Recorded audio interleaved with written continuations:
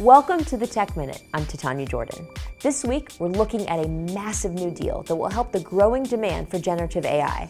Thanks to Angus Loten from the Wall Street Journal for this story.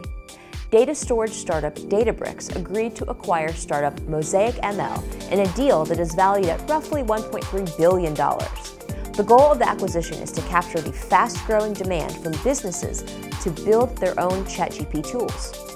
Databricks, which is based in San Francisco, stated that the deal combines its AI-ready data management technology with Mosaic ML's language model platform.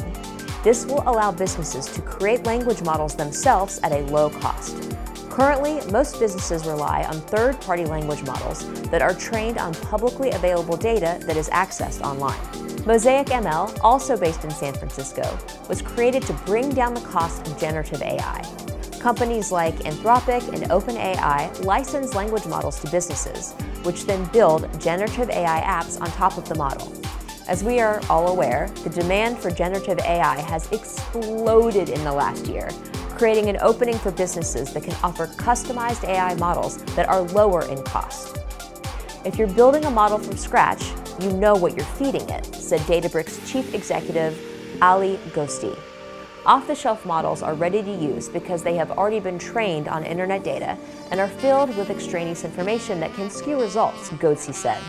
He said that many companies are also wary of privacy and security issues around sharing their data in models built by outside vendors.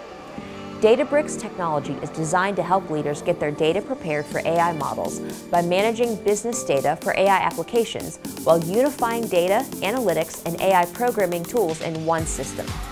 Databricks makes money by renting out analytics, AI, and other cloud-based software to build enterprise tech systems.